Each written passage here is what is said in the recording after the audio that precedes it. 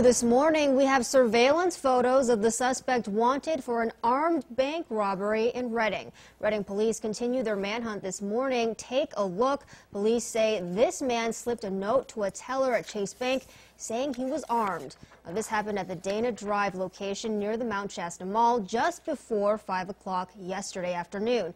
Police searched the areas with a canine and helicopter overnight. The suspect is described as six feet tall with a mustache and beard. If you have any information, please call Redding Police. We have breaking news this morning. PG&E says more than 1,300 customers are without power in the Berry Creek area. Now, it's affecting the area from Brush Creek all the way down past Lake Oroville. PG&E says a car hit a power pole, knocking out the section of the power grid. Crews are working to repair the pole now, and they believe power will be back on by 8 o'clock this morning. And happening now, Caltrans is undergoing